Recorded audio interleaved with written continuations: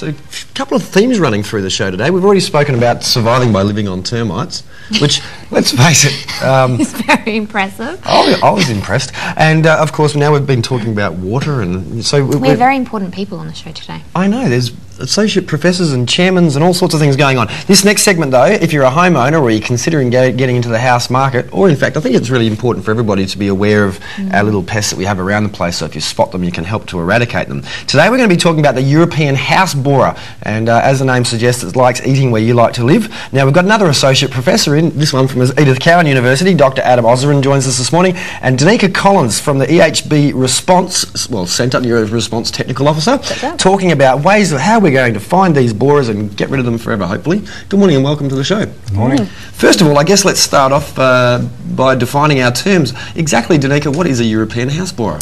Well, European house borer, or EHB, is a destructive pest of pine timber. Um, it's untreated seasoned pine. Um, its larva causes all the damage, uh, feeds away at the wood, forming all these tunnels and galleries. Um, the adult is a beetle, which doesn't live for very long and is non-destructive. So it's the larva that we're that we're looking out for. And so why are they a problem? I mean, what's, why should Western Australians be concerned about these little EHBs? Well, b- um, 'cause it eats pine timber.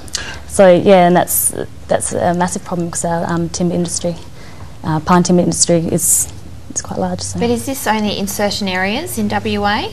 It's only found in the Perth metro area, Okay. in the greater Perth metro area. Um, we've managed to confine it to that to that area, which is So I imagine they're, an, I I gather, gather they're an imported pest. I'm just guessing that from the name. Um, so would they, have, would they have arrived out here with the first fleet, or you know, recent years, or has there been any uh, any indication as to how long they've been around here for? we're not too sure. It was first detected in 2004. Okay, so oh, so fairly recent sort of a problem. Well, Fairly, well, fairly recent find. fairly recently Yeah. found problem. So obviously, uh, finding the pest is half the problem uh, towards solving, you know, Mm. towards uh, eradication or at least minimalisation Mm. of their effects. How on earth do you find these little things? And you know, obviously, what problems have you come up with trying to track them down?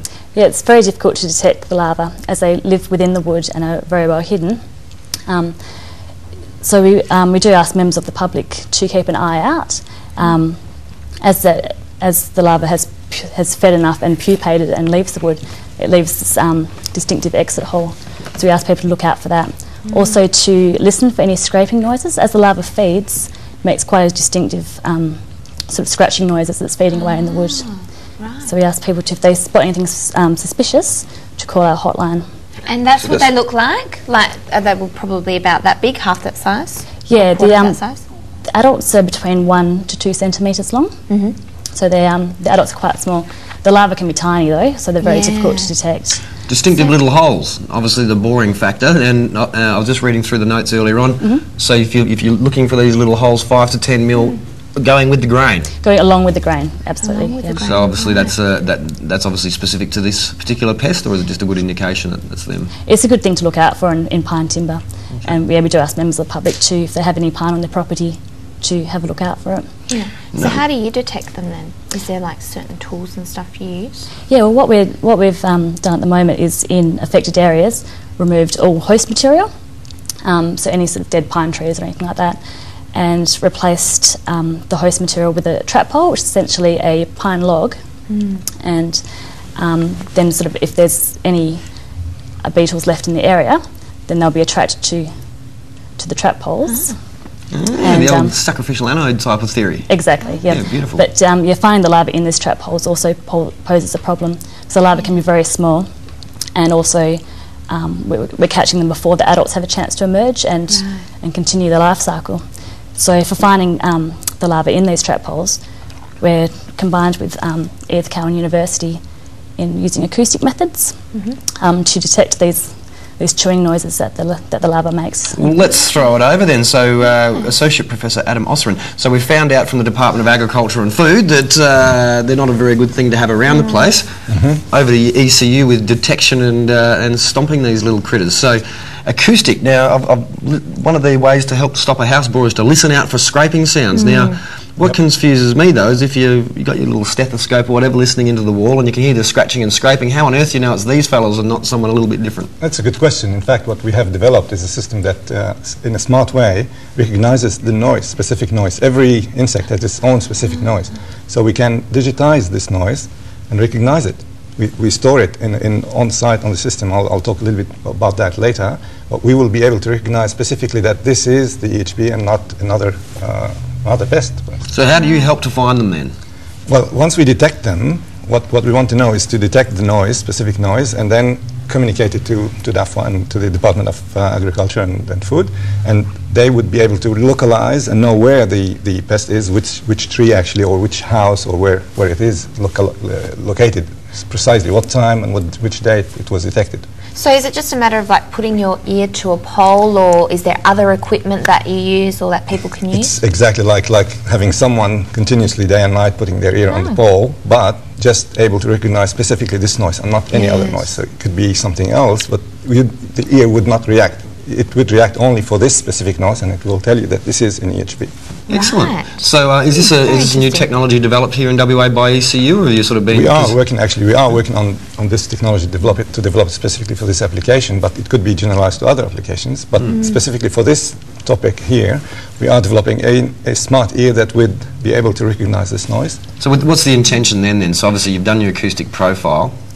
Would you then leave this uh, acquisition equipment on site in, in, a, in an area where the, there's pine trees, for example, or you know, what, what would the yeah, I applications mean, be? depends where, where the where the the, uh, the suspected area is. We would place some of these. In fact, there's going to be tiny ears. You can imagine tiny ears. I have brought something here. Just going to take it out of my pocket. ah, This system here, it's it's would look like that. In fact, it's it's something that would leave on the on So the cable tie onto the tree. Actually, it's, it's going to be wireless. So we just leave it on the tree for a year. It will have a, a battery and it will have a very low power. uh, Do you want hold it to Yeah. me? Okay. Uh, to you.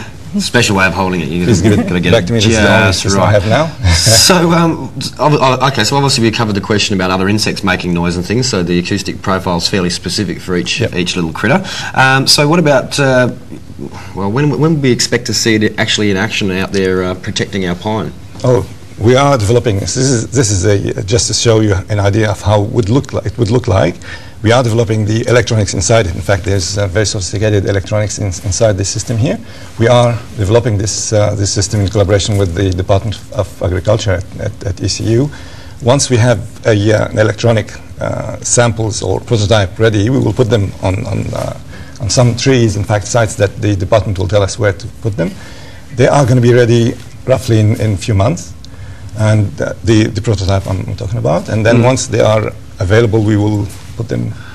Now, my lateral thinking brain suggests that if you can do this for EHBs, you'd probably be able to then turn around and sort of Do it. make a slightly different map for termites or a slightly different map. absolutely, map. yes, Yeah? absolutely. If we have a specific uh, signature for the termites, for instance, we will be able to program this system and convert them into termites. Yeah. Very, very famous uh, uh, Iranian, oh, is Iranian? Noam Gavriely, his name is, and he's a legend in the world of acoustics, and he's developed a system for telling if kids are having asthma attacks or not. It's- so there you go. So acoustics obviously a very interesting world, and good to see that ECU at the forefront of, uh, of realistic and real life applications for this technology. Exactly. Good So stuff. is there a, uh, where people are concerned, um, Yeah, is there a website and a, you know, an address that they can go to? bring to? up this whole screen right now. Watch this. There we go. How's that? so if you'd like to uh, do your bit to protect yourself, but of course the wider community as well, get online and, and help stop the European house borer.